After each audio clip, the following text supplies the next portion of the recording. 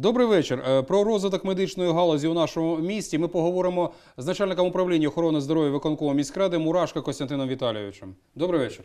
Добрый вечер. Э, Константин Витальевич, э, хочется накануне вашего профессионального праздника, Дня медицинского работника, поговорить ну, о чем-нибудь более приятном, э, о позитивном. Э, Вот э, чем может гордиться криворожская медицина? Какие у нас есть э, приятные э, события, э, которые порадовали и криворожан, и всех нас?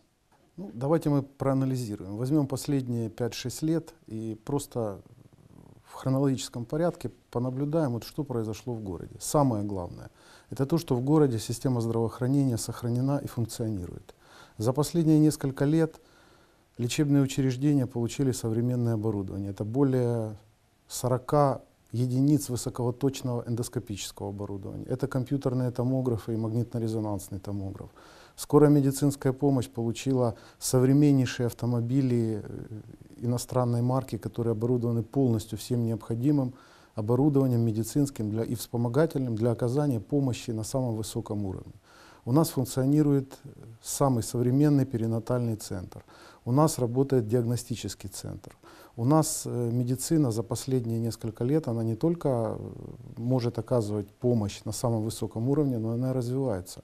И это возможно только в том случае, если власть и лично мэр э, оказывает медицине такое пристальное внимание. Мы четко понимаем, что нам нужно делать, мы знаем, что мы хотим сохранить, мы работаем над этим. И поэтому, конечно же, последние несколько лет, когда идет реформирование во многих отраслях, э, мы понимаем, что в медицине должно происходить положительные изменения. Мы знаем, мы анализируем и критику, мы знаем проблемы, которые у нас есть.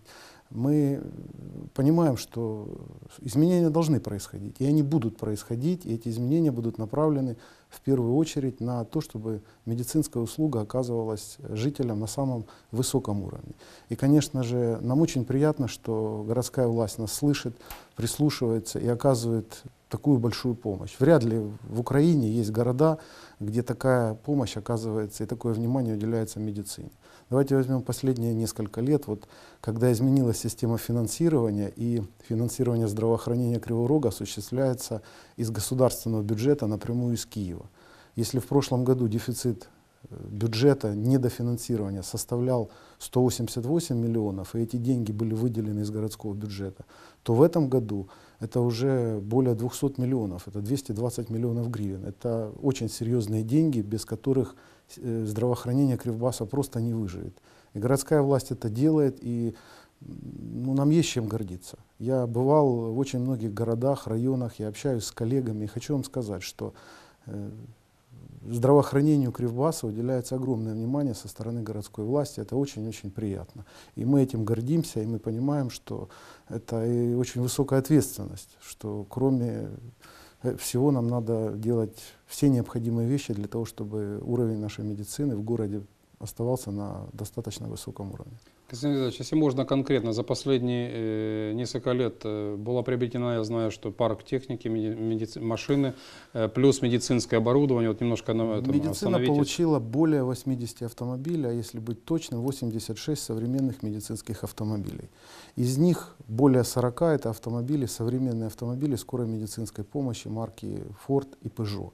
Они оснащены всем необходимым оборудованием, вспомогательным и то оборудование, которое обеспечивает жизнедеятельность организма. И поэтому э, эта техника, она работает. На сегодняшний день э, около 80 автомобилей ежесуточно в круглосуточном режиме осуществляют выезды, и в сутки это порядка 800 вызовов. У нас есть автомобили, которые получили амбулатории центров первичной медико-санитарной помощи, и транспортом мы обеспечены полностью. А транспорт это и бензин, и расход, мы это все понимаем. Пятый центр э, первичной медико-санитарной помощи вот буквально э, в ближайшее, в последнее время получил современный автомобиль для перевозки вакцин, которые мы получаем, должны получать централизованно и с помощью этого автомобиля развозить по амбулаториям и по центрам. Поэтому если брать только автопарк, э, который имеет медицина, нам есть чем гордиться. По современному медицинскому оборудованию.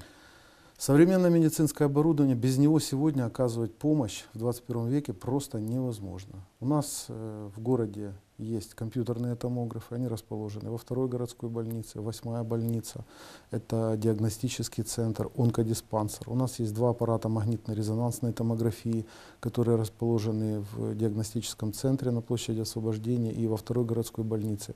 И уже в ближайшее время, в этом году, в эксплуатацию будет введен современный компьютерный томограф в противотуберкулезном диспансере.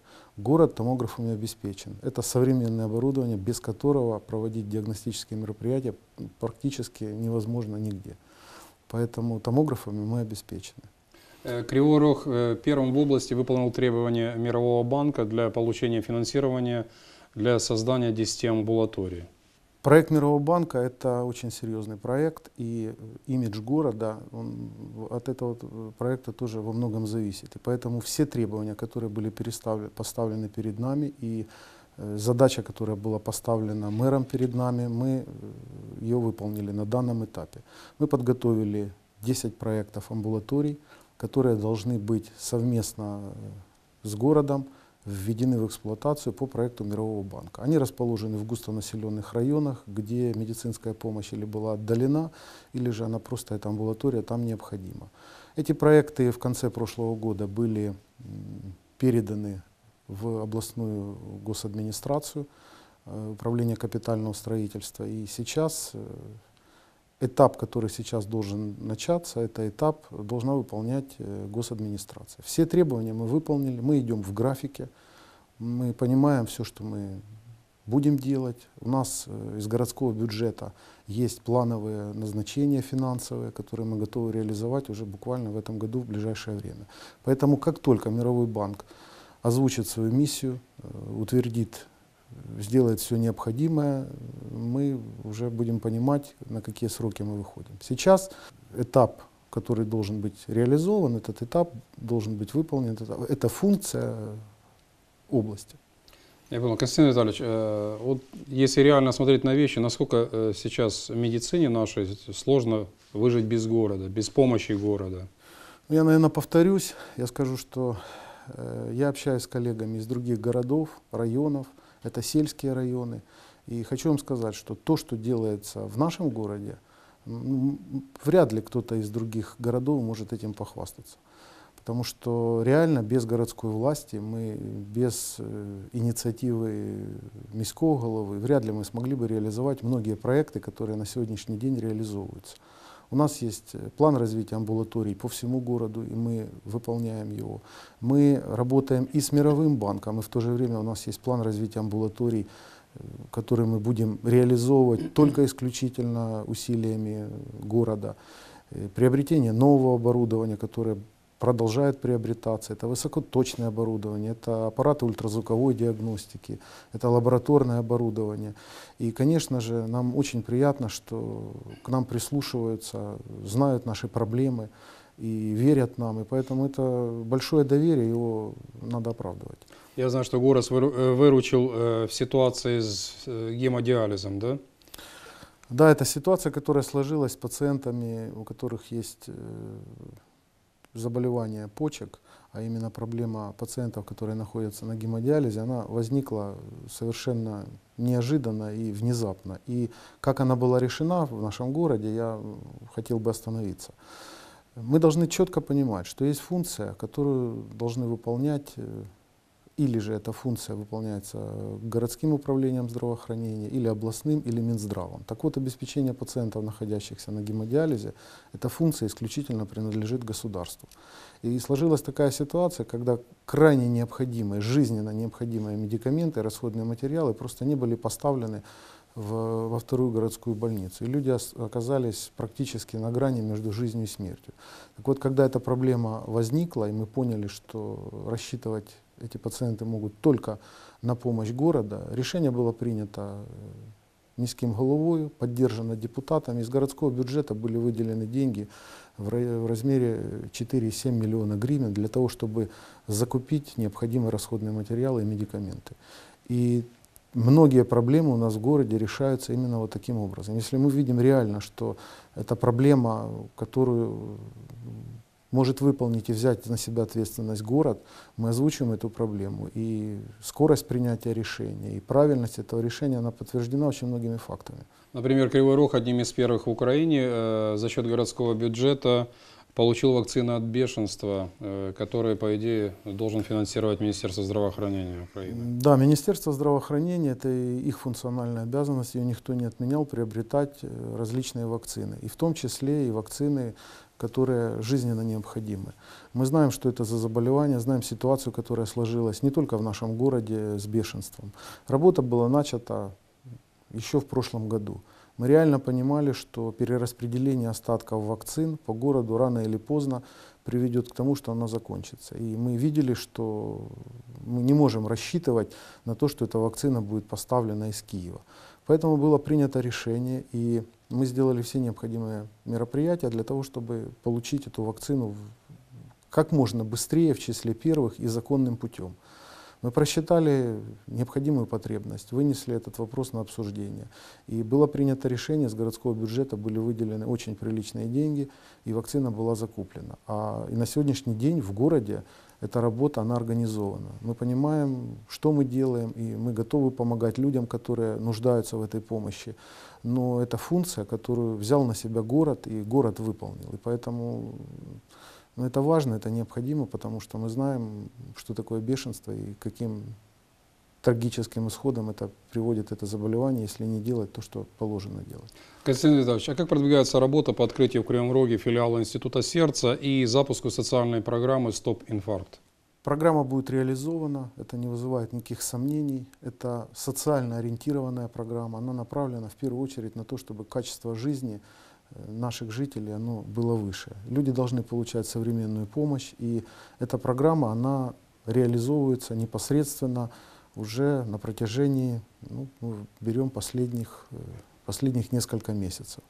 Мы выполняем все поставленные перед нами задачи э, мэром, и поэтому я думаю, что мы эту программу реализуем в ближайшем будущем. Оборудование, мы понимаем, какое оборудование должно быть установлено, мы знаем, в чем нуждаются жители, и задача, которая ставится перед нами, это снижение э, смертности от инфаркта миокарда в 4 раза. Это реальные цифры, которые можно осуществить, делая, работая на современном оборудовании. Мы знаем, какую помощь можно получают пациенты во второй городской больнице, где на сегодня стоит ангиограф. Мы знаем потребность города, и мы знаем, что нужно делать. Поэтому сотрудничество продолжается. Сейчас решение, которое вот на, на этапе, в котором мы находимся, это один из этапов уже не начальным. Поэтому мы двигаемся и выполняем те задачи, которые были поставлены перед нами міським головой. Константин Витальевич, и еще более приятный вопрос. Э, накануне профессионального праздника поздравьте своих коллег, да и всех медиков в частности, с их профессиональным праздником. Спасибо. Я хочу обратиться э, к медикам, и напомнить, что да, у нас сложная профессия, она непростая, и она требует, может быть, тех качеств, которых ну, в других специальностях, может быть, и не так востребованы. Но хочу пожелать всем медикам, всем, независимо это врач, медицинская сестра или санитарочка, чтобы они были здоровы, чтобы в их семьях всегда царил мир. И хочу напомнить, что мы никогда не должны забывать о том, что в нашей специальности – как нигде чувствуется боль, утрата, сострадание. И мы должны помнить о том, что показатели нашей работы – это наши пациенты. Поэтому мы должны делать все для того, чтобы люди были живы, здоровы.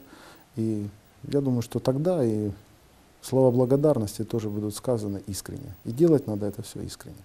Добре, спасибі за змістовну бесіду. У нас в гостях був начальник управління охорони здоров'я виконкому міськради Мурашка Костянтин Віталійович.